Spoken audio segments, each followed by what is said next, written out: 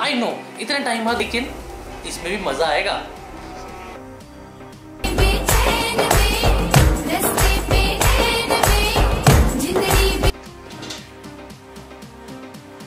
burger king का आलू टिक्की burger और